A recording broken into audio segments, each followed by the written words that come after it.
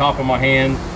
and and got my pinky and started twisting and I could have swore that I heard a pop and that's when everybody hears me say I lost my goddamn pinky. So um, we got I got really lucky that I had my cousin with us that got a tourniquet on my arm